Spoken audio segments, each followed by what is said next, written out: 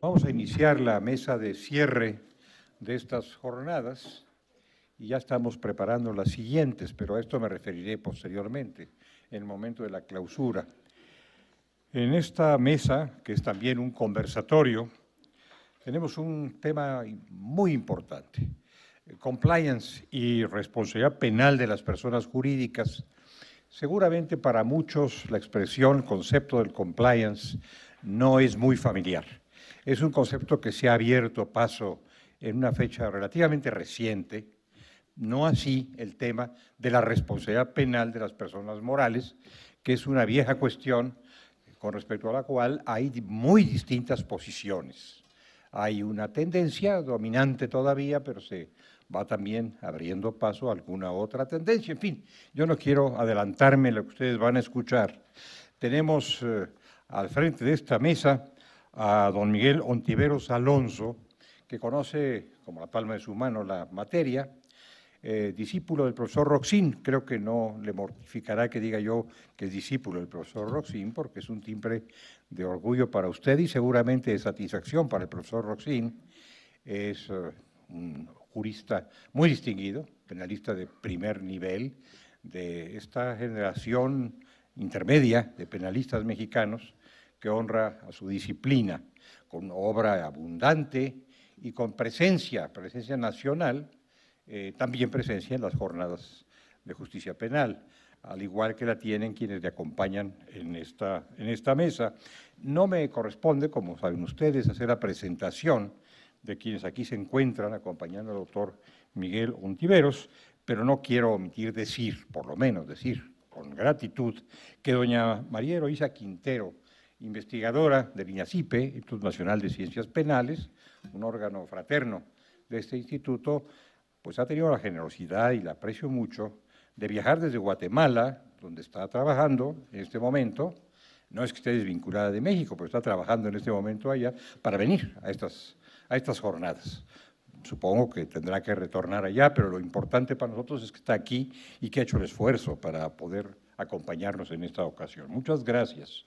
Y a la doctora Miguel Ángel Miguel Ángeles Fromo, no necesito presentarla, ya hará la presentación don Miguel Ontiveros, pero también le agradezco, porque en otras ocasiones, eh, atendiendo a la invitación que le hemos formulado doña Olga y su servidor, también nos ha acompañado y ha engalanado nuestras jornadas con su, con su talento y su experiencia, ambos muy amplios. Entonces, eh, doctor Ontiveros, tiene usted la rectoría de la mesa y estaremos atentos a la intervención de ustedes. Gracias.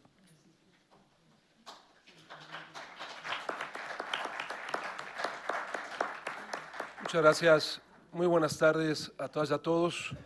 Bienvenidos a esta última jornada en materia de justicia penal.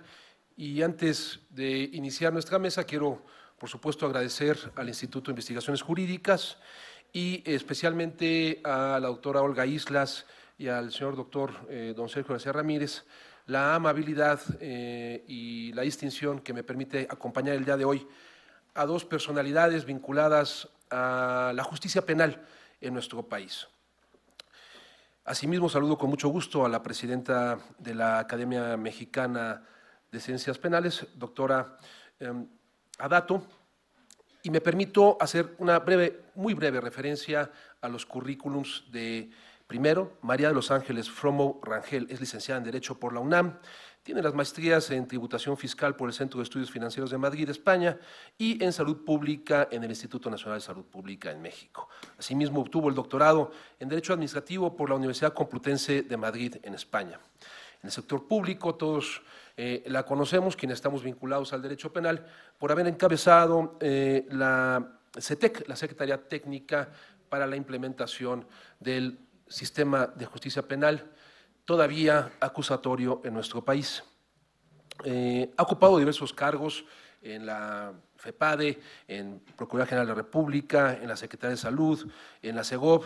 Ha sido profesora en licenciatura y en el posgrado de la Facultad de Derecho. Ha impartido diplomados, cursos, conferencias en todo el país vinculados eh, específicamente al derecho penal y eh, a la justicia en nuestro país. Como articulista ha publicado en diversas revistas especializadas, tratando los temas de elecciones, participación ciudadana, derecho administrativo y sistema de justicia penal.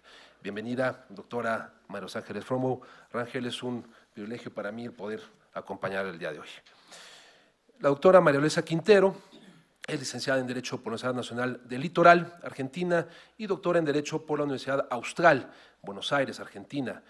Realizó tres eh, estancias de investigación en la Universidad de Bonn, Alemania, bajo la dirección del distinguido penalista alemán, el profesor doctor Gunther Jacobs, una estancia en la Universidad de Sevilla, España, y otra en la Universidad de Castilla-La Mancha. Ha sido profesora de posgrado, la conocemos eh, como investigadora, además, sin duda alguna, la penalista más importante que hay en el Instituto Nacional de Ciencias Penales, y ha realizado actividades académicas nacionales e internacionales y conferencias eh, invitada en Argentina, Colombia, Costa Rica, Guatemala, España, El Salvador, Honduras, Paraguay y Perú.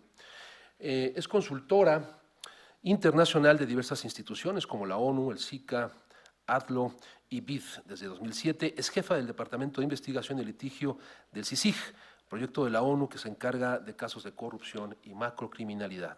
Y desde el año 2007 es profesora e investigadora del Instituto Nacional de Ciencias Penales. Bienvenida, Luisa. Me da muchísimo gusto el que hayas podido además venir para acompañarnos el día de hoy eh, desde Guatemala, en donde realizas hoy en día actividades muy importantes vinculadas también al combate a la corrupción. El tema, como ya lo anunció eh, el señor doctor don Sergio García Ramírez, es compliance y responsabilidad penal de las personas jurídicas. Nos vamos a permitir romper el esquema que se ha llevado al cabo durante eh, las últimas mesas y vamos a hacerlo muy dinámico. Ese es el acuerdo al que afortunadamente hemos podido llegar las doctoras y un servidor.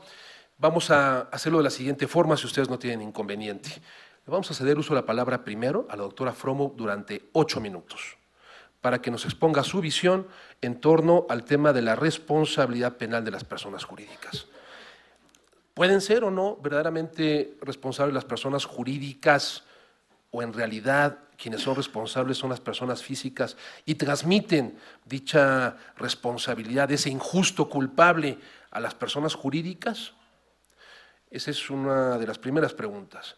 El Código Nacional de Procedimientos Penales establece un modelo, pero los códigos penales, cada uno, como es tradición en nuestro país, establece distintos modelos. Estamos entre el modelo de autorresponsabilidad empresarial, en mi parecer digno de un sistema democrático, eh, de derecho, y un modelo de transferencia, también denominado vicarial, importado de España, vigente en el Código Penal Español, y que casi casi se replicó de manera automática en el Código Penal de la Ciudad de México. Después vinieron algunas otras reformas y ya tenemos en el Estado de México el esquema de responsabilidad penal de las personas jurídicas, en el, ámbito federal, por supuesto, en la Ciudad de México, en Yucatán, en Quintana Roo. En Jalisco se acaba de incorporar además una reforma en la que se establece un catálogo de delitos que pueden cometer las personas jurídicas. Ese sería el, primer, el primero de los temas. ¿Qué modelo? Y a partir de ello, si creemos que se deben hacer algunos ajustes, si es que efectivamente creemos en esa imputación de responsabilidad penal de las personas jurídicas, que esta es una doctrina minoritaria, efectivamente, como ya lo advertía el doctor Sergio García Ramírez. Y después de esos ocho minutos, le vamos a dar uso la palabra a la doctora Eloisa Quintero para que aborde el mismo tema. Yo les rogaría a ustedes que mientras vayan formulando sus preguntas, porque lo que vamos a hacer es interactuar y vamos a ir resolviendo las preguntas después de esos ocho minutos, ¿no? Y una vez abordado esta temática, que pueden ser eh, temas desde el punto de vista procesal, en materia de personas jurídicas, pero también, eh, Eloisa, temas dogmáticos, ¿no? la capacidad de acción, la capacidad de culpabilidad de los entes colectivos, que es uno de los grandes desafíos y uno de los grandes debates, pasaremos a la segunda em, eh, dimensión o al segundo eje temático, que es los así denominados compliance programs o programas de cumplimiento penal ya anunciados eh, eh, en el programa de estas jornadas. Y ahí vamos a debatir acerca de, primero, cuál es nuestro concepto ¿no? de compliance programs. Segundo, ¿sirven o no tienen en verdad utilidad? ¿Son un requisito para las empresas o son solamente un criterio de imputación a las personas jurídicas? O en realidad más bien pueden funcionar como una excluyente del delito Y de ser así, ¿no? la gran pregunta es también en qué categoría del delito se ubican eh, los programas de cumplimiento, el fiscal, el juez, la magistrada, la jueza, en qué momento sistemático tendría que abordar si esa persona jurídica investigada eh, tiene un programa de cumplimiento eficaz que entonces permita, quizás por atipicidad, quizás por justificación, quizás por exculpación, no imputar a la persona jurídica o no condenarla. Así que las preguntas están abiertas, ustedes pueden ir ya enviándonos sus, uh, sus, preguntas escritas y las vamos a ir abordando sistemáticamente para hacer esto dinámico. Así que, sin más, le cedo el uso de la palabra a la muy distinguida y querida doctora María de los Ángeles Fromo Rangel. Por favor, doctora. Muchísimas gracias, doctor, por por esa espléndida introducción a este conversatorio, como lo hemos llamado, a poder poner énfasis en lo que desde la visión tanto teórico-práctica es el compliance penal. Pero no puedo dejar de iniciar esta intervención con un muy cariñoso agradecimiento a mi querido doctor Sergio García Ramírez, a mi maestra Olga, Muchas gracias por volverme a tomar en cuenta estar aquí el día de hoy platicando sobre este tema. Y el reconocimiento siempre a mi querida doña Victoria Dato, porque de verdad este, sus pasos siempre han guiado mi carrera como penalista, así que muchas gracias. Y decirles a todos ustedes que uno de los temas que a mí más me ha gustado desde que dejé de ser titular de CETEC y que me fui a la parte práctica del derecho fue enfocarme a, la realidad del compliance penal en las, en las empresas. Yo fui asesora eh, durante muchos años de distintas empresas multinacionales y sobre todo de empresas en desarrollo aquí en mi país. Y una de las grandes preocupaciones de los debates entre las cámaras empresariales siempre ha sido ¿y qué significa esto del compliance? Y yendo concretamente a la parte de la pregunta que nos hacía, realmente ha sido desde esa visión la que en algún momento yo me he cuestionado. ¿Ante qué estamos? Si responde la persona jurídica ante un hecho propio o por los hechos de terceros.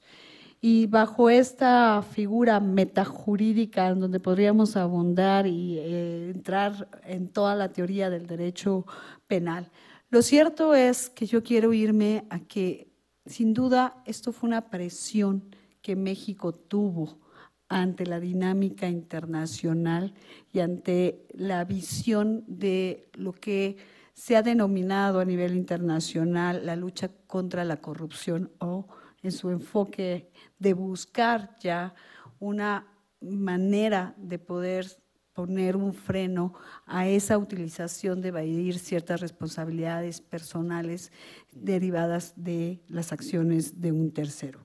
Bajo ese sentido es que yo lo entiendo, o sea, es el impulso de esa figura meta que tenemos en las personas jurídicas para poder aterrizar en nuestros distintos códigos penales y, ¿por qué no?, en nuestro código de procedimientos penales a nivel nacional está establecido y fue el punto de partida de la discusión, que primero nos dijimos qué tiene que hacer en lo procesal y después tenemos que decir qué tiene que hacer en lo sustancial, porque no habíamos avanzado seriamente en lo sustancial.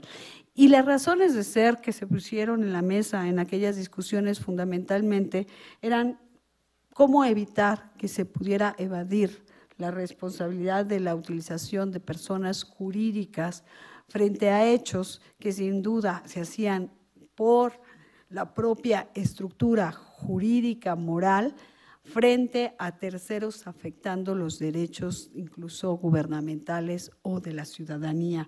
Y es ahí el gran debate de si te estás metiendo en una responsabilidad individual o frente a la parte profesional que utilizas un frente tercero que es una persona jurídica.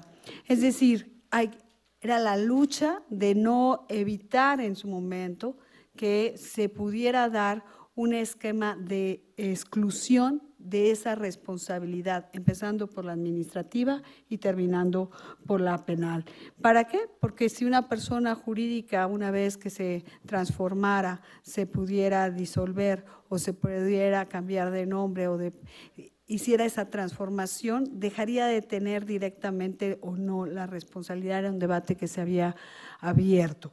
Lo cierto es que al poner el compliance penal en el enfoque empresarial, vamos un paso más allá. Son los hechos delictivos que pudieran cometerse y en el que se abre un abanico enorme, incluso de diversos delitos que pudieran cometer las personas.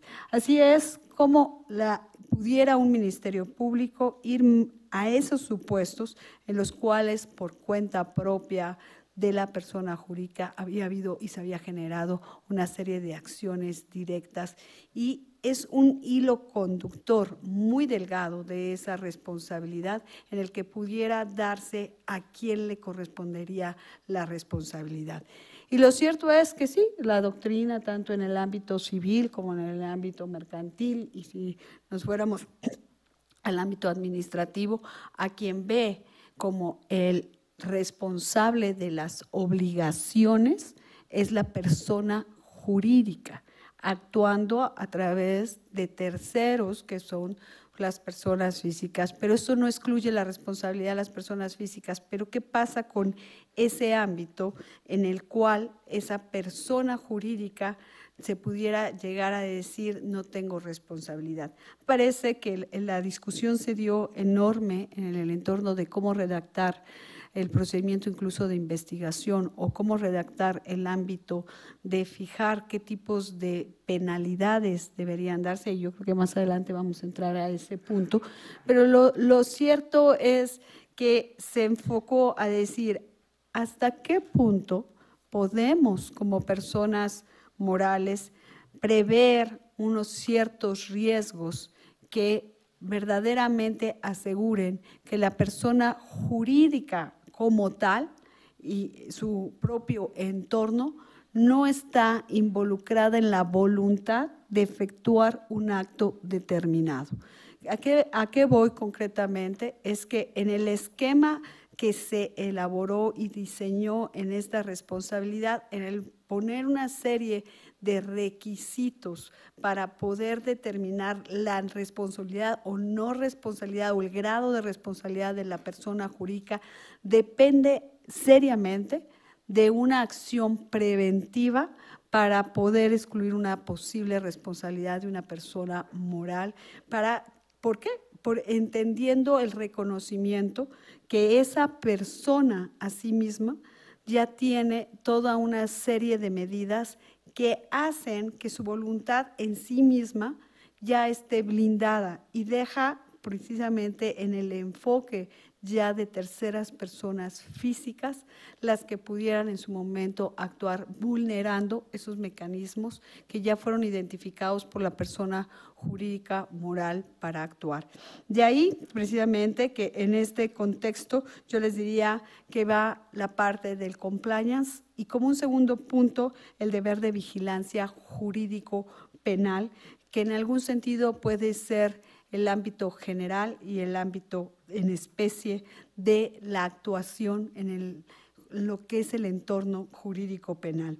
Es así como nosotros podemos ver desde la regulación que hemos ido construyendo, independientemente cómo lo han enfocado o lo han discernido las distintas legislaciones en nuestro país, lo cierto es que hoy por hoy no podemos hacernos a un lado de que existe el compliance penal, que existe esa responsabilidad y donde desde la figura misma del modelo de la persona jurídica que a través de mecanismos expresa su voluntad, tanto para blindar un ejercicio como para en su momento hacer las exclusiones que pudiera tener. Muchas gracias. Muy bien, muchas gracias, estimada doctora Romo. Cedo el uso de la palabra para los efectos de abordar la misma temática, es decir, el modelo de responsabilidad penal de la persona jurídica, a la doctora Marisa Quintero. Hago una simple anotación. Ella es eh, autora de un libro de próxima publicación en torno al delito de trata de personas y el compliance. Fue su tesis doctoral, muy laureada, eh, em, eh, defendida en Argentina. Tiene uso la palabra, por favor. Gracias, Miguel. Eh, voy a entrar de lleno al tema, pero primero le quiero agradecer a don Sergio, a doña Olga, esta invitación, también a doña Victoria Dato. Para mí es un gusto estar aquí. es un honor que nos inviten acá. Recién les saqué yo unas fotos de ustedes porque es lindo verlo ahí. Es un honor que estén escuchándonos, ¿no? Siempre uno está acostumbrado a verlos aquí y ahora nos toca, digamos, a nosotros a veces introducir ciertos temas. Así que para mí es un honor. Me acuerdo que este tema también lo vimos en el 2011, aquí en esta misma casa, cuando todavía no se hablaba de responsabilidad de las personas jurídicas. La UNAM en el 2011 me invitó para estas mismas jornadas y el tema era ese. Y no había ni siquiera reforma, etcétera, pero siempre... Eh, siendo pionera en estas temáticas del derecho penal. Entonces, eh, es un gusto poder seguir en esta discusión y tratar de abordar un, poco el tema desde otras perspectivas. Gracias, Miguel, por tus palabras y un gusto también estar al lado tuyo. El punto es el siguiente. Como decía recién, desde el 2011 hasta el día de hoy, no sé cuánto hemos avanzado, porque creo que si hablamos de responsabilidad de las personas jurídicas, todavía estamos eh, divididos en tres grandes rubros existe un gran grupo dogmático que, se resiste fuertemente a la responsabilidad de las personas jurídicas, y más que dogmáticos, prácticos. En este año que me he ausentado aquí de México, al final me toca estar eh, más de la mano de la práctica y con los operadores y con los investigadores y haciendo otro tipo de dinámica. Y uno ve que el gran porcentaje de operadores del sistema de justicia penal sigue tirando a la primera postura, que es la no responsabilidad de las personas jurídicas. Cada vez que estamos analizando un hecho, incluso hay un caso que presentamos y tiene tres imputadas, dos personas físicas y una persona jurídica por un tema de financiamiento electoral, y cada vez que se recuenta el caso, se, publica en Internet, eh, habla el fiscal o habla alguien, dicen las imputadas y se olvidan siempre de la persona jurídica. Hasta cuesta nombrarla, cuesta traer la escena y cuesta también responsabilizarla, porque este gran sector que niega la responsabilidad de las personas jurídicas todavía está en el colectivo general y en muchos de los dogmáticos y los aplicadores del derecho. Después tenemos este, un grupo mixto, y en esas posturas mixtas están aquellos que em, quieren eh, entender la responsabilidad como una transferencia. Ok, la persona jurídica puede ser penalmente responsable, pero lo es porque sus humanos se portan mal. Esa es la transferencia. Porque sus directores, administradores, gerentes, empleados, etcétera, cometen algo en contra del derecho y como una transferencia de responsabilidad termina asumiendo este costo la persona jurídica porque no controló efectivamente a sus empleados, a sus administradores y tal. Estos modelos de transferencia los hay más, más estrictos y más, más eh, flexibles y más radicales. Hablaba muy bien de, Miguel y decía ese modelo que viene vicarial, que es de Estados Unidos, donde hay una responsabilidad que es netamente objetiva, podríamos decir. Responde la persona jurídica porque son sus empleados los que actúan y punto sin ningún tipo de reproche, ha ido matizándose en el devenir de la dogmática y sobre todo en el ámbito, digamos, eh, continental iberoamericano, y hasta que llegamos al sistema español, donde lo que se le reprocha a la persona jurídica es esa falta de control, ¿no? esa falta de organización o dicho en otras palabras, una organización defectuosa hace que yo asuma la responsabilidad como persona jurídica. Pero sigue siendo un modelo de transferencia, porque no está diciendo la persona jurídica mata, la persona jurídica deja de pagar impuestos, sino que sus empleados hicieron lo, incorrecto y ella no los controló. Por eso es que creo que ahí coincidimos con, con Miguel, porque ya me, conozco su postura, es que ese modelo de transferencia tendría que eh, tener un paso a un, a un modelo de autorresponsabilidad de la persona jurídica como ente social que es. Me explico. Yo entiendo siempre cuando se ha criticado a la persona jurídica se dice, es que la persona jurídica no puede, no puede ser penalmente responsable porque tiene falta de capacidad de acción y falta de capacidad para la culpabilidad. Dos aspectos indispensables que todo penalista conoce y así nos, formaron, eh, digamos, desde primer año. Ahora bien, eso lo podemos poner en tela de juicio desde distintas ópticas. Permítanme hablar, por ejemplo, de lo penalmente relevante. Nosotros fuimos criados en primer lugar, y desde el punto de vista sociológico también se dice así, que lo penalmente relevante son las conductas humanas una conducta humana que atenta contra otra y por eso le genera una lesión de un bien jurídico. Y los sociólogos, si hablamos nada más que de ellos, hace rato que ya eh, el, hecho social deja de tener eh, relevancia en la conducta humana, sino que después pasaron a lo que se llama la acción social, que eso es lo, socialmente relevante, y ahí empiezan a debatir los sociólogos, y está Luhmann y están Habermas, por nombrar a dos porque no conozco a nadie más, y entonces dicen Luhmann y Habermas, en realidad lo que tiene que ver acá es la acción social, sí, no, y Habermas más eh, va un poquito más allá y dice, no, no son acciones sociales, sino que son comunicaciones las que estamos analizando. Todos conocemos esto y esto creo que es de vital relevancia en el tema de la persona jurídica. Si vamos a hablar sobre la persona jurídica y si tiene capacidad de acción, lo que tendríamos que preguntarnos es si esa persona tiene capacidad de comunicar, no de, no de eh, ejecutar una conducta humana o ejecutar un acto social, como estaban diciendo los sociólogos, sino si la persona jurídica tiene capacidad para comunicar una fidelidad a la norma o una falta de fidelidad a la norma. Entonces pensemos eh, qué pasa en nuestra sociedad. Y en nuestra sociedad vemos que las personas jurídicas interactúan y están eh, predeterminando muchos ámbitos. Piensen ustedes en el deporte. ¿Quiénes son los principales actores? Personas físicas, bueno, puede haber un Messi, pero también están los equipos, las, los grandes, las grandes eh, eh, agrupaciones deportivas, la FIFA, etc. Piensen en la economía, piensen a nivel medio ambiente, piensen a nivel político. O sea, no podemos dudar que hoy por hoy, en la complejidad de nuestra sociedad, los grandes actores son también las, las entes eh, empresariales, ¿sí? las personas jurídicas. Y si son actores, tienen un rol. Y si tienen un rol, ese rol social genera una comunicación. Y en esa comunicación, las otras ramas del derecho, comunicación en, el sentido de que está expresando un sentido y puede decir, me, me, mantengo en el derecho o me aparto del derecho, si eso lo están entendiendo las otras disciplinas, ¿por qué no lo entendemos del derecho penal? Eso nos podríamos preguntar. Por ejemplo, una empresa puede decidir Em, bajar sus costos eh, de, seguridad laboral o subirlos. O puede decidir bajar em, en relación de costo-beneficio, bajar lo que paga, por ejemplo, eh, para, por impuestos y trata de evadir ciertos ciertas eh, sectores con el riesgo de que en algún tipo de auditoría a eso se lo vea como evasión fiscal. Es decir, la empresa va tomando decisiones o incluso puede decidir, saco este producto de mercado porque está defectuoso o pago las, denuncias que después me vayan a plantear porque me sale más barato pagar las denuncias por acciones de daños y perjuicios, incluso denuncias penales, que retirar todo el producto del mercado. La empresa va tomando decisiones y va comunicando cuáles son sus intereses y cuál es, la finalidad de su acción. Entonces la empresa tiene un rol y tiene una comunicación. Veamos entonces qué hace en México. Ya redondeo. Cuando vemos desde el punto de vista de México, podríamos decir,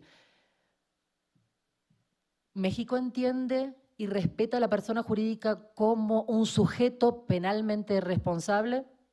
En los papeles sí. ¿Qué hace en otro ámbito? Derecho aduanero. ¿Cómo se, los, cómo se la valora? ¿Puede eh, eh, infringir la norma aduanera? Derecho fiscal, se la llama contribuyente.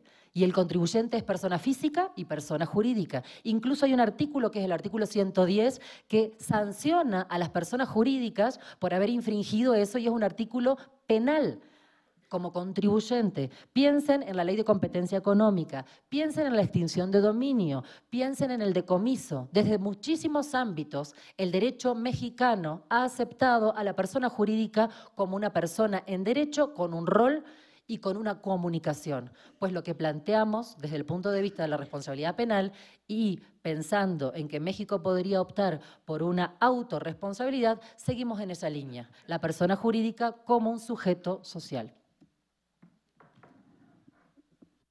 Muchas gracias, doctora Luisa eh, Quintero, por eh, su participación. Bueno, ya tenemos sentadas las bases.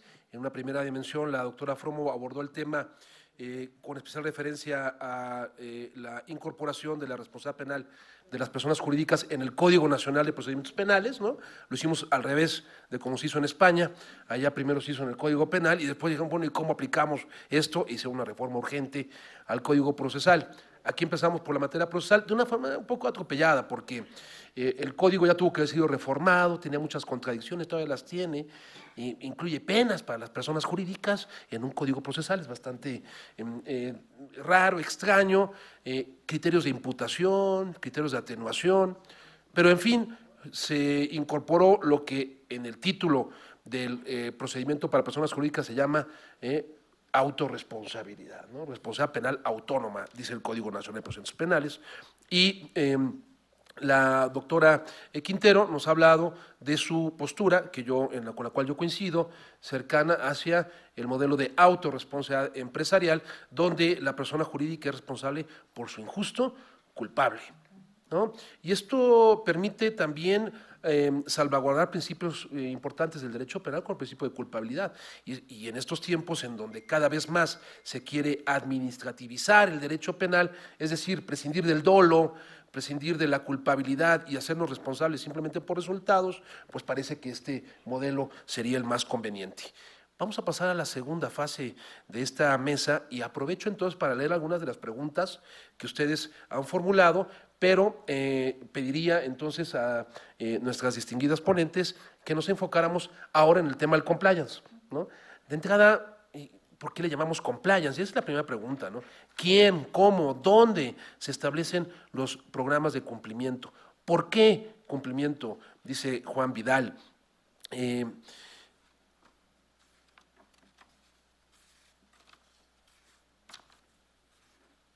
temas de deporte, temas de configuración de un compliance, la diferencia entre el compliance básico y el compliance penal, existe o no existe alguna diferencia, qué efectos tiene, está preparado el sistema de justicia mexicano para juzgar a las personas jurídicas y exigir programas de cumplimiento. Son algunas de las preguntas que vamos a ir abordando a partir de ahora y en los siguientes ocho minutos. Por favor, doctora.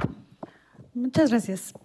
Em, yo creo que primero hay que pensar que en nuestro país el cumplimiento de la ley, como tal, los programas de cumplimiento de apego a la legalidad, se han ido promoviendo de muy diversas formas, tanto para personas físicas como para personas morales.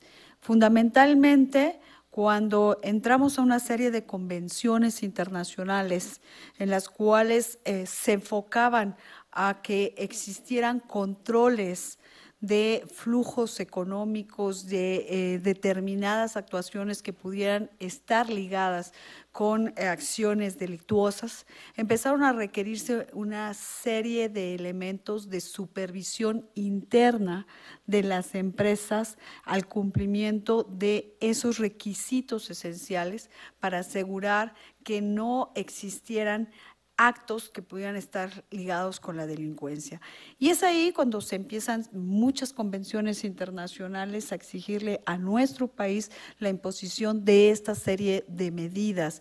Y se siempre se habían denominado pues programas de cumplimiento normativo, de cumplimiento legal de las empresas, en donde se les exigía mecanismos para denunciar por parte de sus empleados, de sus clientes, de sus proveedores, de que se les pudiera dar un código de ética, un código de conducta, sistemas adecuados que controlaran de manera y supervisaran de forma específica el actuar de la persona moral, procesos disciplinarios y eh, consecuencias correctas, así como políticas de recursos humanos en su contratación, en su supervisión y en su actuación de las personas que pudieran generar un riesgo dentro de la integridad de las personas. Y eso fue visto desde esa primera parte administrativa y posteriormente se fue tomando como una exigencia, incluso en el ámbito mercantil, para poder redundar de empresas multinacionales que requerían de diversos eh, proveedores y que tenían un gran impacto en el ámbito de clientes, el número de clientes, era necesario tener toda esa serie de controles para evitar ciertas responsabilidades.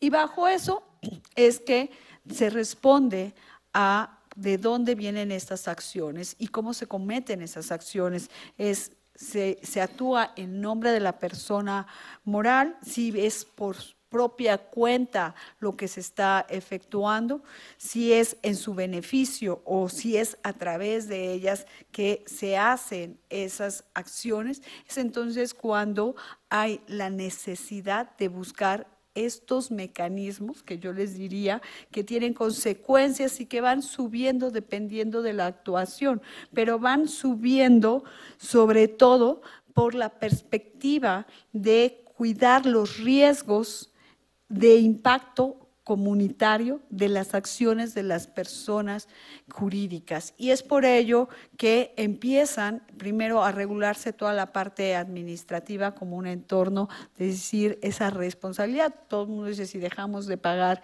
impuestos, no le van a cobrar a los accionistas, le van a cobrar a la persona moral, pero después ya se empezó a buscar, bueno, si, esa persona es insolvente, que a quién y cómo responden sus accionistas o administradores. Y de ahí se fue derivando toda esta serie de responsabilidades. Cuando llega una auditoría, llegan la auditoría a la persona moral, no a las personas físicas. Por eso la medida de los riesgos del actuar se va dando respecto de esas acciones o misiones que realicen las personas físicas que tienen el frente común, que es una persona.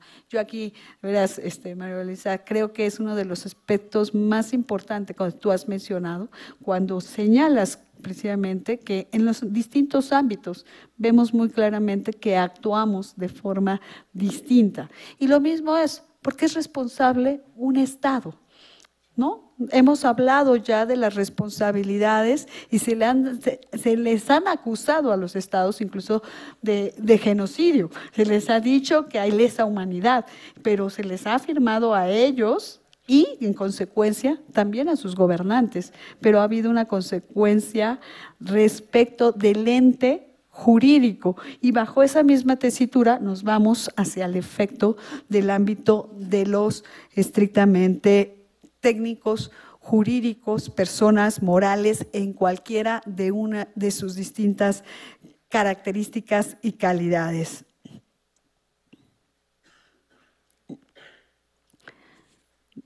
de los... Sí, definitivamente me preguntan que si es eh, recomendable que se estipule el compliance en la creación y constitución de los entes jurídicos. Yo les puedo decir que hoy una empresa que quiere realmente entrar a competir, a tener una apertura comercial, los posibles clientes que tenga, lo primero que le van a pedir es Tienes todos tus manuales de operación, tienes tu mapa de riesgos, tienes tus controles, te puedo hacer una auditoría. Hoy, déjenme decirles que hay empresas dedicadas ya a hacer auditorías a otras empresas para asegurarse que sus programas de cumplimiento sean los adecuados y les den las garantías suficientes a sus clientes y proveedores. Y eso ya es hoy una forma de mercado en donde tienes que estar reportando como empresa determinados aspectos del actuar de esa persona jurídica para efectos precisamente de poder acceder a tener cierto nivel de negocio con otras compañías o personas jurídicas. Eh, Dice, se puede imputarle responsabilidad a una persona jurídica, sin imputar responsabilidad a las personas físicas que representan a la persona jurídica. Sí, efectivamente se puede.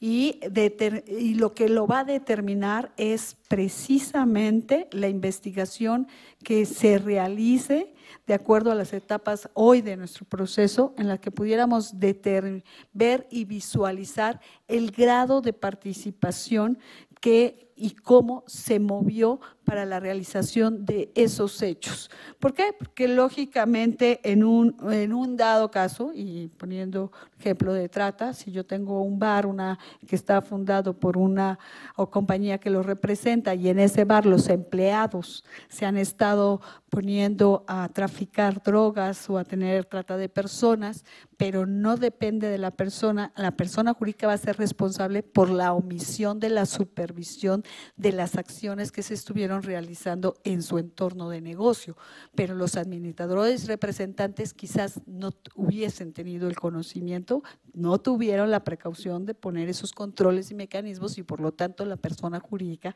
podrá ser responsable. Creo que ya terminaron mis ocho minutos. Muchas gracias. Muchas gracias, doctora. Un, un privilegio pues, moderar una mesa con dos personas tan ordenadas, disciplinadas y aparte con tanto conocimiento. La verdad, uno lo disfruta en serio. Yo les he pasado estas preguntas que nos han estado entregando y lanzo al área algunas más de forma genérica para los efectos de la participación de la doctora Eloísa y para después pues una última mm, eh, reflexión y cerrar la mesa, pero ¿será equiparable la pena de muerte eh, cuando la sanción a la persona jurídica es la disolución de la misma? Es decir, la pena de muerte en las personas físicas, la disolución sería la pena de muerte en las personas eh, jurídicas. Se deben incorporar eh, a los sindicatos y partidos políticos como personas jurídicas y eh, responsabilizados penalmente. Bueno, esto, este, esto la respuesta es sí, porque ya está. ¿no? Si solamente las instituciones del Estado, no puede el Estado enjuiciarse a sí mismo, pero sí desaparecerse a sí mismo. Eso pasó en Veracruz. quienes vayan a Veracruz y pasen por Boca del Río, ¿no? verán unas grandes patrullas y pick-ups muy, con gente muy armada, muy profesional, que dice policía estatal, de policía municipal, perdón. Pero cuando se van acercando, uno ve que son eh, marinos, es la Secretaría de Marina Armada de México, porque como la policía trabajaba para los Zetas, entonces el propio Estado dijo, esta policía no tiene remedio, y la disolvieron, y entregaron las instalaciones, eh, las armas, eh, las patrullas y las pick-ups a la Secretaría de Marina Armada de México. Entonces la Secretaría de Marina se encarga de la seguridad pública de algunos municipios porque la, la policía no puede con ello y además pues, digamos que se autodisolvió. el compliance es un requisito esencial para evitar la responsabilidad de los entes jurídicos. Le adelanto una vez, no, porque uno puede también eh, ser fiel al derecho, ¿no? Sin compliance. No porque no tenga, es decir, ausencia de compliance no significa imputación de responsabilidad. Y por otro lado, posesión de compliance tampoco significa automática exclusión de responsabilidad. Para estos efectos, entonces le doy la palabra a la doctora Eloisa Quintero, por favor. Es muy difícil hablar de todo esto en ocho minutos, pero ya que hay un montón de preguntas súper interesantes, voy a tratar de juntar. Decía la doctora Fromo, y con un muy buen eh, tino, también el Estado es responsable. Entonces, el Estado, y lo uno con una pregunta que dice acá, ¿cómo probamos el dolo y la culpabilidad? ¿Cómo sabemos que el Estado conoce y quiere, que es el dolo?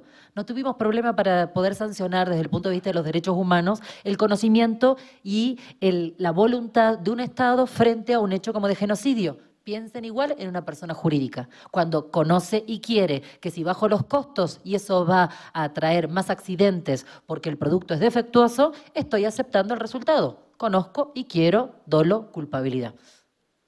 ¿Qué pueden hacerse, qué se puede hacer con ciertas empresas? Dice acá, hay empresas que son unipersonales, eh, ¿qué pasa con Odebrecht? ¿Qué pasa aquí con la, FIFA y otros? Entonces van sacando muchos ejemplos.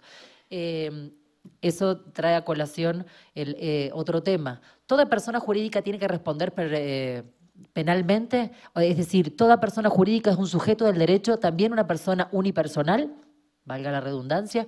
Pues ahí a mí me parece que es muy atinado lo que dice Jara Díaz, que es un, colega en común y amigo, y él dice muy clarito, es decir, ojo, porque hay, de personas a personas. Lo que tenemos que saber es si el ente es, se autoadministra o si se heteroadministra. ¿Qué quiere decir con esto? Ustedes saben muy bien que en la práctica hay personas jurídicas que son fachadas que están, eh, se están eh, siendo creadas al solo efecto de poder cubrir y o manejar ciertas sumas de dinero, ciertos eh, requisitos tributarios, etc.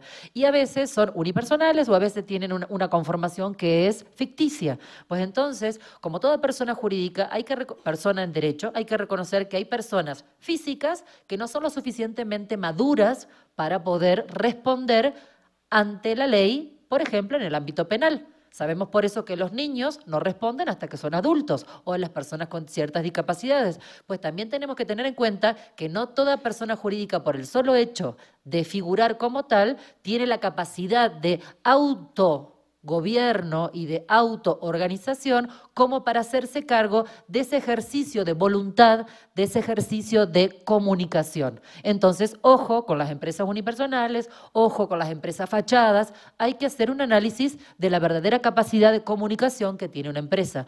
Hay mucha hay muchas experiencias por ahí en el ámbito de Latinoamérica que son interesantes, incluso por las dificultades. Guatemala, que se está trabajando sobre eso, tienen un articulito por ahí, dice, la, la responsabilidad de la persona jurídica se da cuando esta se mal organizó y no hizo el control suficiente, en otras palabras, o cuando la voluntad proviene de los órganos de gobierno. Está tratando de encontrar quién habló en nombre de. Cuando se decide no pagar impuestos o hacer fraude fiscal, cuando se decide no pagar el seguro y se caen todos los, los, contratistas y los empleados de un lugar y se accidentan, por decir algo, lo decide la empresa o lo decide una persona física. Entonces, la expresión de voluntad se puede encontrar por ahí. Hablando ahora de compliance, creo que también, como decía Miguel, no, eh, no toda empresa tiene que tener un compliance.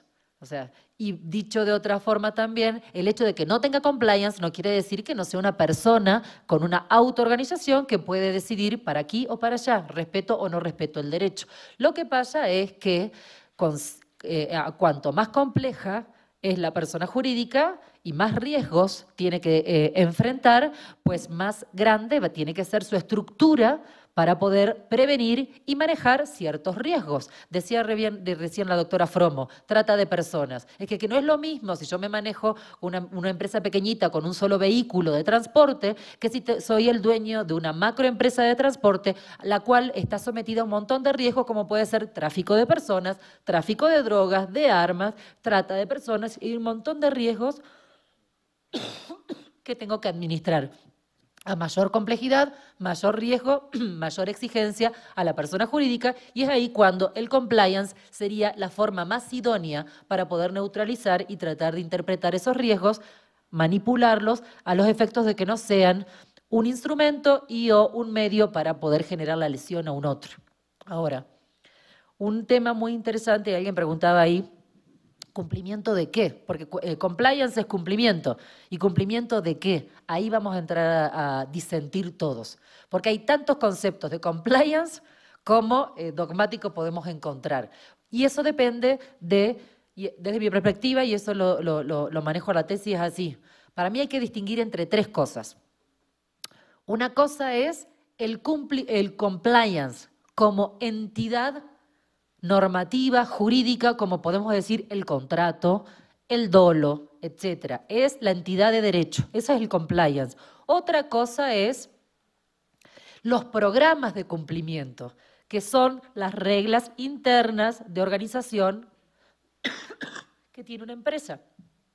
Y lo tercero es el sistema de compliance, que es todo ese número de elementos que interactuados entre sí tratan de dar el marco de protección para una, empresa, entre los cuales puede estar el programa de cumplimiento. Son tres cosas distintas. Compliance, programa y sistema de compliance. Son tres cosas distintas. Pero ¿a qué voy con esto? Que cada uno de estos van a depender de la idea de compliance que uno tenga. Yo, por lo pronto, y haciendo una síntesis, y ya con esto llego a los ocho minutos, me parece, cuando uno piensa en compliance, puede encontrar, hay gente que cree que el compliance me sirve, o el compliance penal, que es el que nos, nos compete aquí, nos sirve como un control de riesgos. Y así lo explica y por ende, con base en eso, le va a dar un, un, contenido. Es decir, toda esa regla y de estructuras me sirve para manejar riesgos. Y es algo de lo que dije recién, el riesgo de la trata. Hay gente que dice que el compliance es un incentivo y un propulsor de la cultura de la legalidad. Y por eso es que las empresas necesitan compliance para tener una buena cara, porque si no, ni siquiera entran en ciertos programas, en ciertos eh, financiamientos, en ciertas reglas de competencia y demás. Compliance como incentivo y propulsor de la cultura de legalidad. Dos. Tres, compliance como una confirmación del derecho ver dónde se ubica la empresa frente a los derechos humanos, por ejemplo. Tres, compliance como una herramienta para detectar ilícitos que es distinto. Detectar ilícitos. Cinco, compliance como herramienta para neutralizar imputaciones. Ahí está Silva Sánchez. Silva Sánchez dice que yo si tengo un buen compliance puedo neutralizar esas imputaciones como persona jurídica y es por eso que dicen algunos autores, creo que es Cool en el que habla de la higuera, de la, no me acuerdo ya quién era, pero que dice que el compliance es como una gran hoja de higuera para la persona jurídica porque lo único que le da es sombra. La sombra de protección para que no termine respondiendo penalmente y entonces ella siempre sabe cuáles son los límites y hasta dónde va a poder responder. Ahí voy por el 5. 6. Compliance como atenuante de culpabilidad compliance como fomento de autorresponsabilidad, que por ahí estábamos eh, aquí debatiendo, y compliance como un fomento de responsabilidad social, es decir, como aquel ejercicio de responsabilidad social que tiene la empresa y el compliance es un instrumento más para darle cumplimiento. Fíjense que aquí son nada más que ocho razones de ser del compliance, que por ende le darían un contenido distinto y ese contenido vendría a su vez de fuentes distintas. Entonces, hasta que no nos pongamos de acuerdo en esto, vamos a tener tantos conceptos de compliance como dogmáticos y operadores del derecho tengamos en, la práctica. Muchas gracias, doctora, por eh, sus observaciones. Vamos a entrar entonces a la última fase de eh, esta mesa.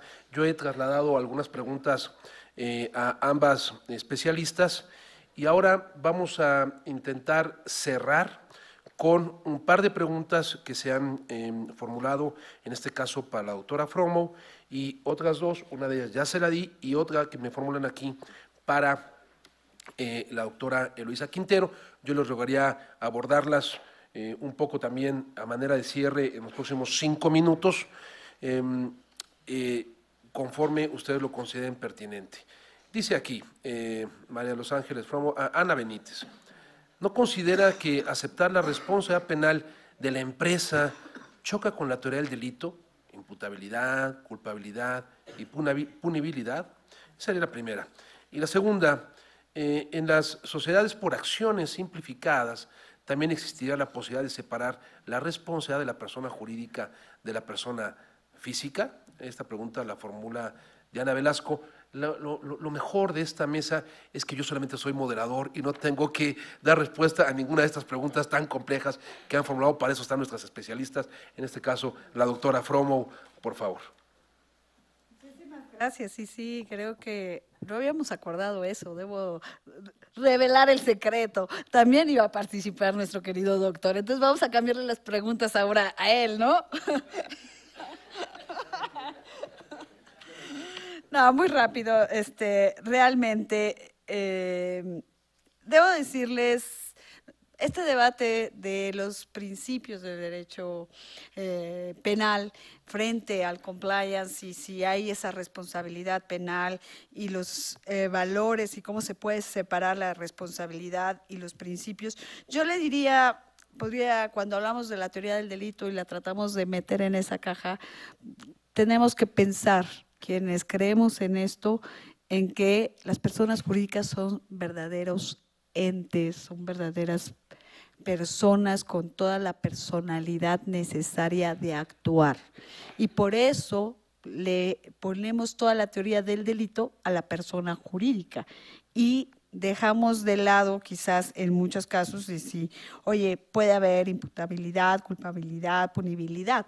Yo les diría, y volviendo para poner simplemente un ejemplo e irme al grano, en punibilidad, decimos, y decían hace rato en otra pregunta, casándola, se asimila la disolución de la empresa o de la persona moral a la muerte, eh, a la muerte, a la pena de muerte?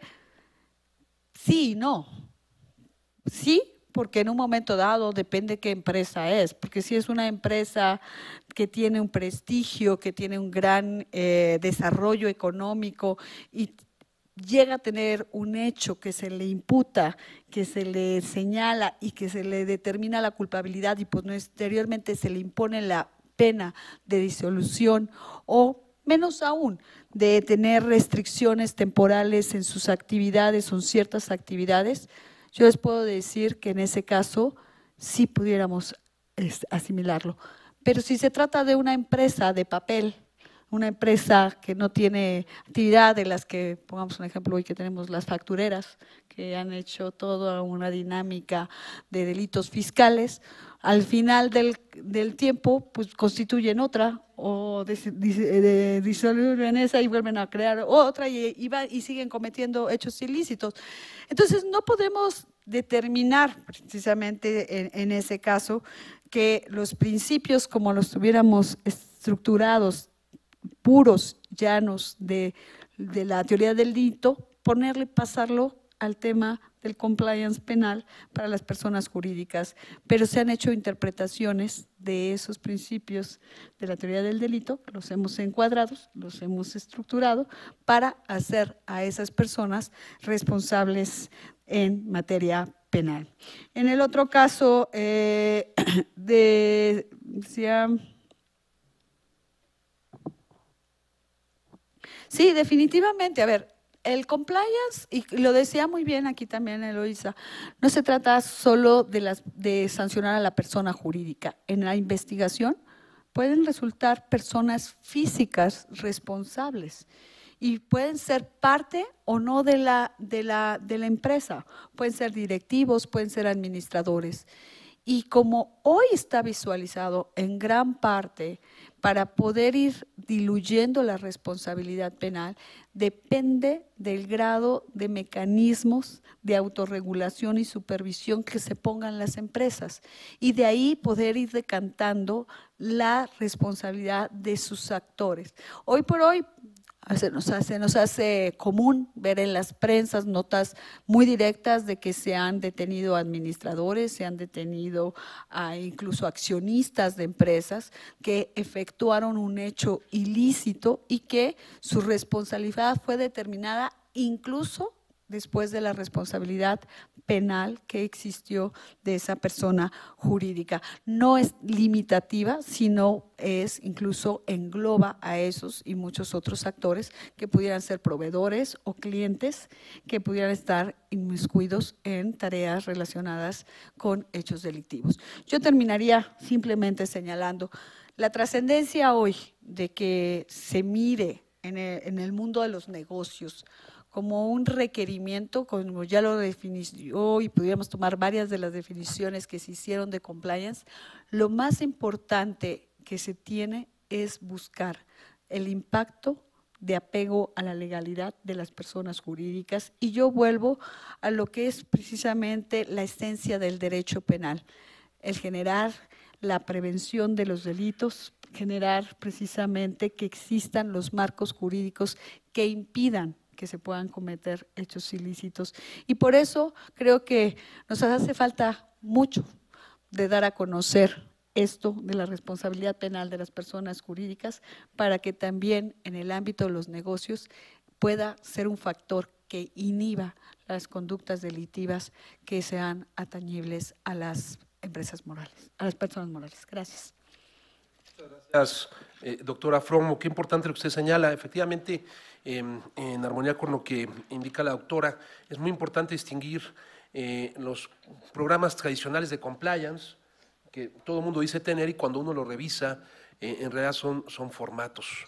No es un programa de cumplimiento. Un programa de cumplimiento ¿no? no son carpetas, no son videos, no es la sangre que corre por las venas de la empresa y comienza antes que nada con un diagnóstico. Es como una exposición de motivos. ¿no? Por ejemplo, eh, ahora que estamos debatiendo, y tal como decía la doctora Olga Islas, la necesidad de un código nacional eh, penal, un código penal único para nuestro país. El problema está cuando se presenta un código pero no se presenta la exposición de motivos. Eso es lo mismo sucede con el compliance. Nos traen 10 carpetas con protocolos, manuales de organización, líneas directrices, pero se pregunta de dónde surgió todo esto, ¿no? ¿Dónde está el diagnóstico de riesgos penales, penales, no empresariales, penales, ¿no? Trata de personas, por ejemplo, en los hoteles, en los bares, eh, en las cantinas, eh, en empresas de transporte, en las propias aerolíneas. Y entonces dicen, no, no, no, bueno, nosotros no hemos... Es que no les gusta el penal, pero ahora tienen que entregarle al penal porque existe la responsabilidad penal de las personas jurídicas. antes de que a ti te muestren un programa de cumplimiento, es como eh, la propuesta que hace la senadora o el senador de reforma constitucional. No me muestre la reforma, no me muestre, eh, por favor, su texto de toda la ley, quiero ver la exposición de motivos. ¿Cuál es la orientación político-criminal de esa iniciativa? También, ¿cuál es la orientación de su programa de cumplimiento?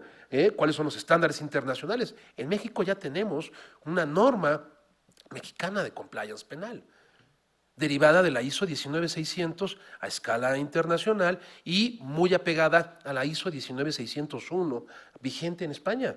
Fue expedida el año pasado. Es una norma ética ¿eh? publicada en el diario oficial. Y entonces los agentes del Ministerio Público, pero también las abogadas y los abogados ya tienen una orientación muy seria y muy sólida para decir, estos son los requisitos que debe cumplir mi programa de cumplimiento. ¿No? Esta es la responsabilidad que puede tener básicamente por omisión el compliance officer, por ejemplo, también. Y estas son las mecánicas para evaluar, capacitar y, por ejemplo, el canal de denuncias que debe tener un programa de cumplimiento. Muy importante, un poco para concluir y leer la última pregunta que se le formula a la eh, doctora Eloisa Quintero, ¿dónde está tu área de investigación y tu área de prevención? La unidad de compliance no es solamente una unidad para contratar correctamente, también debes tener canales de denuncia y debes tener áreas de investigación criminal. Por eso eh, se abre una puerta muy interesante para ex policías de investigación de las procuradurías locales que saben cómo hacer la investigación en el terreno, ahora se convierten en policías eh, al interior de la empresa. El propio Silva Sánchez le habla como una policía privada eh, al interior del ente colectivo para indagar quién está, por ejemplo, sustrayendo productos de la empresa al interior de la organización. Eh, Rodrigo Franco formula esta última pregunta para la doctora Luisa Quintero. ¿Por qué seguir utilizando el término persona jurídica para eh, referirse a un, eh, a un ente colectivo si todas las personas en derecho son jurídicas? Lo anterior, señala eh, quien formula esta pregunta, en atención a la teoría de la persona del profesor Gunther Jacobs. Entonces, en el ámbito de esta pregunta, y conforme usted quiera también ir concluyendo, le doy la palabra por los próximos cinco minutos, por favor, doctora.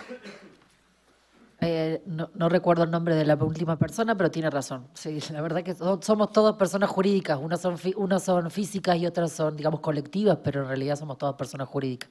Nada más que respetamos el, lenguaje tradicional. ¿no? Incluso hablamos de persona moral. ¿Y quién dijo que son morales? Pero bueno, coincido con, el, con Rodrigo Franco. Eh, hay unas otras preguntas que tenían que ver aquí con, que me olvidé que hablaba de si Odebrecht podría responder o no, fuera eh, responsable y ha respondido.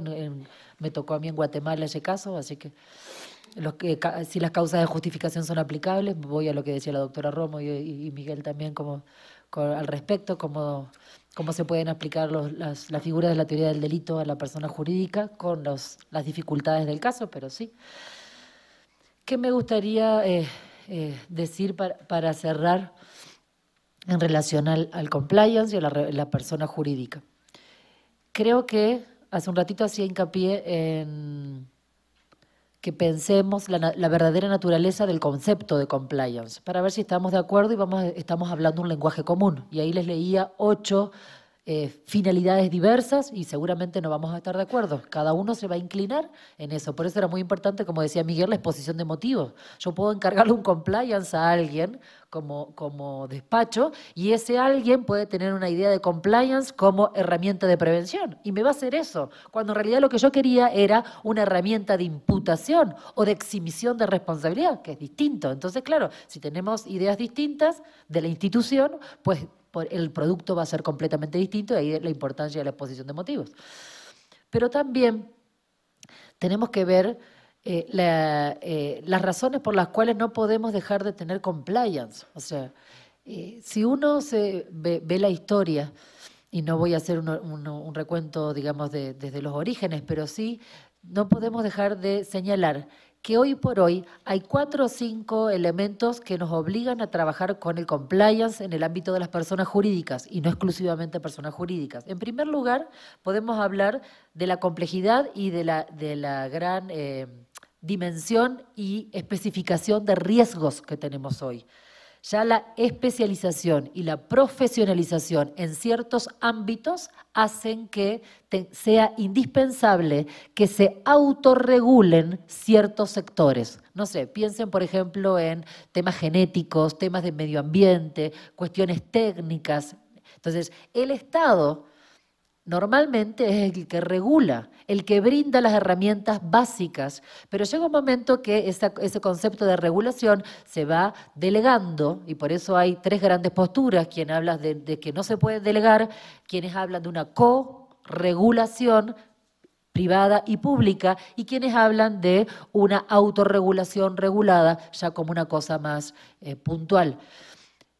Lo que quiero remarcar es que a esta altura no podemos seguir eh, exigiéndole al Estado que haga toda la regulación. ¿no? Mínimamente tenemos que entrar en ciertos ámbitos, en una corregulación y si no, una autorregulación regulada. ¿Por qué autorregulación regulada? Porque el Estado me da las pautas mínimas y yo, que soy el especialista en el tema, o por la especificidad o por la profesionalización, doy los, los detalles básicos en virtud de las pautas que me dio. Pero aparte, no solamente por eso, sino porque el Estado no tiene la capacidad ni económica ni estructural para para poder hacer la regulación de ciertos ámbitos y el control, la supervisión y la, y, la, y la fiscalización, incluso la sanción en ciertos ambientes, porque ya la complejidad se le va de las manos, sobre todo el tipo de Estado que estamos teniendo, que cada vez es un Estado menos presente, menos intervencionista y cada vez, digamos, no todo, por supuesto, pero cada vez con una estructura más endeble. Entonces, tiene que reconocer que si de verdad queremos tener controlados ciertos riesgos, tenemos que pedir pedirle, digamos, participación a esos entes sociales, que son las personas jurídicas, para que ellos participen en esa autorregulación regulada y me ayuden a precisar las pautas básicas que yo, como Estado, les estoy brindando. Ahí se inserta el compliance. El Estado no es necesariamente, en otros ámbitos, el interlocutor más idóneo. Tercer motivo. Hay supuestos en los cuales el Estado sí puede digamos, ser el más autorizado para poder expresarse. Pero hay, ámbitos en los cuales, sobre todo los ámbitos técnicos, muy técnicos y muy, eh, muy, eh, muy profesionales, el Estado no es el mayor interlocutor. O, incluso, el Estado no ha sido, por ejemplo, los estados que han sido grandes violadores de derechos humanos, no ha sido el interlocutor más idóneo en relación al respeto de los derechos humanos, entonces entran a actuar otros actores que pueden ayudar en esa autorregulación regulada para evitar que los estados, que los entes públicos, etcétera, terminen infringiendo otra vez los derechos humanos en un contexto particular. ¿Por qué? Porque ese estado no es el más idóneo. Piensen en algunos estados de Centroamérica y por eso han dado intervención a otras entidades para que en esa autorregulación regulada ayuden a poder controlar lo que fueron las grandes violaciones a los derechos humanos. También hay que pensar, cuarto argumento, son cinco, ya termino, cuarto argumento, que en realidad hay muchas empresas que son las que llevan los servicios y funciones públicas de los estados en la actualidad. Entonces, ¿qué, qué mejor que ellas para que darles el costo de tratar de regular lo indispensable para no cometer ni delitos, ni infracciones, ni ser fuentes de riesgos. Entonces ahí entra el compliance, una forma de cesión, pero no eh, en totalidad, de esa eh, función de regulación que tiene el Estado, pero es una regulación ¿sí? controlada por parte de las pautas que le va dando el, Estado, porque él, él, no puede dejar de cumplir su función. Entonces, los servicios y funciones públicas en muchas entidades estatales están en manos de empresas. Entonces hay que pedirle también que se hagan cargo de la autorregulación regulada para evitar ciertas infracciones. Por ejemplo, hablemos de telecomunicaciones y todo lo que puede ser el atentado contra datos públicos y los datos privados y demás. Entonces, bueno, que ellos también trabajen y que tengan el compliance suficiente para una autorregulación regulada y no eh, cometer ciertos, eh, caer en ciertos riesgos. Y después está la empresa como sujeto criminal O sea, fíjese que recién ahí caemos a la empresa como sujeto criminal. Entonces, no es el compliance, o sea, no es la primera motivación el tener un compliance, hay muchas otras, pero también como cuarto factor tenemos que ver que la empresa puede ser un instrumento o un actor de eh, un hecho penalmente relevante, un delito. Y por último, el compliance sirve y tiene motivación suficiente en sí mismo porque las empresas también son sujetos de delitos y no hay que olvidarse de eso. Entonces, ¿cómo sé hasta qué punto puedo eh, entender a la, a la empresa como víctima si no conozco a través de un buen compliance, cómo es esa sangre, decía Miguel, esa sangre que la va nutriendo, que la va regulando, que le va diciendo cómo se expresan en sus voluntades, quién toma la decisión, dónde están los puntos de, operación, dónde están los, los, los, candados, los controles, la autopoiesis que habla, que habla Luhmann. Entonces, también la última motivación es esa, el compliance tiene que servir también para poder identificar dentro de la empresa cuando la empresa es víctima y no victimario nada más. Importante lo que ha señalado la doctora Luisa Quintero. Estamos felices en México porque hayas obtenido tu naturalización mexicana, tu pasaporte. Hemos ganado una gran penalista en el Instituto de Investigaciones Jurídicas también, a una extraordinaria ponente, conjuntamente con la doctora María Los Ángeles Fromo Rangel. Y antes de mm, ceder uso la palabra al doctor don Sergio García Ramírez para declarar la clausura de estas jornadas, yo quiero pedirles a todas eh, y a todos ustedes que mm, eh, mm, en el marco de estas jornadas que vienen, las vigésimas, el próximo año, 2019, se celebran las vigésimas jornadas, 20 años de jornadas de derecho penal, pues vayan preparando sus preguntas. Y no es broma, porque de aquí al próximo año, si es que la doctora Olga Islas y, don Sergio García Ramírez consideran pertinente que este tema, ¿no? y ojalá sea además con las distinguidas ponentes que nos acompañan el día de hoy, tendrá eh, lugar en esas jornadas, pues tendremos otra normativa, tendremos más códigos penales eh, de los treinta y tantos que eh, están vigentes en México, que hayan sido reformados y ojalá, yo quisiera, tendremos ya algunos ejercicios de la acción penal, algunas vinculaciones a proceso y quizás, como ya sucede en España, algunas sentencias, en cualquier sentido, en materia de personas jurídicas. Esa jurisprudencia eh, española nos está sirviendo mucho para, irnos, para orientarnos y ver lo que en unos meses quizás ya tendremos en México. Pero por ahora me resta solamente pedirles a ustedes, por favor, para la doctora María de los Ángeles Fromo Rangel y para la doctora María de Luisa Quintero, dos grandes penalistas, especialistas y además grandes amigas mías, un fuerte aplauso por la estupenda exposición.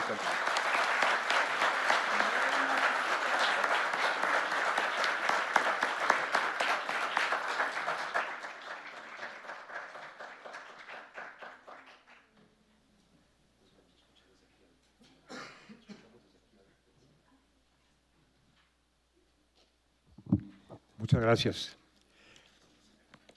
Doña Olga Islas y doña Victoria Dato me han dado ahora encomienda de clausurar de parte de ellas, agregándome yo, estas jornadas. Eh, lo hago con la ilusión de las que vendrán, porque efectivamente el año que entra esperamos tener las vigésimas jornadas acreditando 20 años de esfuerzo sostenido serán del 26 al 29 de noviembre del año venidero. Yo les ruego tomar nota de esas fechas y reservarlas en sus eh, agendas. Hemos entregado además un cuestionario que les ruego llenar, eh, donde consultamos sus puntos de vista acerca de lo que ha operado, de lo que no ha operado en las jornadas, de los cambios que ustedes quisieran que se introdujesen en los programas y en la mecánica de las jornadas. Hemos procurado mantener una dinámica constante, pero desde luego todo puede ser mejorado y seguramente lo será el año por venir. Quiero también dar las gracias, las gracias más cordiales y cumplidas, por supuesto, a quienes integran esta mesa, pero también insistiendo en lo que antes de ahora he dicho, a quienes han integrado todas las mesas, todas las mesas han sido valiosas, todas han hecho aportaciones importantes y todas han sido fuente de reflexión, de meditación para quienes hemos asistido a estas jornadas. Mi gratitud también, nuestra gratitud de doña Victoria, doña Olga, la mía, al Instituto de Investigaciones Jurídicas, eh, a su director, Pedro Salazar, a todas las personas que dentro del instituto han apoyado, han ayudado de una manera muy eficiente y generosa. Mi reconocimiento personal, el más vivo reconocimiento, a Eduardo Rojas eh, Valdés por su participación entusiasta y talentosa, competente en la organización de las jornadas, a Irving Rodríguez, que también me ha hecho favor de asistirme en el desarrollo de, este, estas tareas, y a Griselda eh, Mauricio, auxiliar de la doctora Olga Islas, que también ha sido un factor importante para llevar adelante estas jornadas. Espero que esté todavía por aquí y que me esté escuchando. Déjenme decirles, para concluir, que hace casi 20 años nos preguntamos eh, acerca de la organización de este programa, cómo llevarlo a cabo, qué denominación inclusive darle. Pudimos haber pensado en llamarles eh, jornadas de derecho penal. Hay jornadas o hay congresos o hay conferencias de derecho constitucional, de derecho administrativo, de derecho procesal. Estas pudieron ser las jornadas de derecho penal, pero no, no, fue, no fue esa la decisión.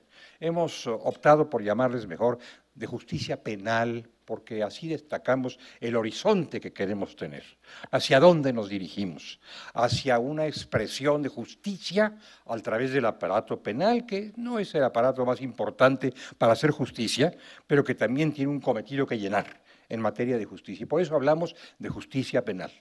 Y por eso además, por eso además, no quisimos nunca y no hemos querido ahora eh, concentrar nuestro esfuerzo solamente en temas jurídico-penales, de derecho penal sustantivo o adjetivo, sino abrir el espacio para ver todas las conexiones de la materia penal con la vida social con la vida individual, por supuesto, pero también con la vida social. Y creo que esto se ha visto en estas jornadas en que hemos analizado no solo problemas de normativos, eh, sino problemas de carácter social, de carácter político, de carácter económico, de carácter moral.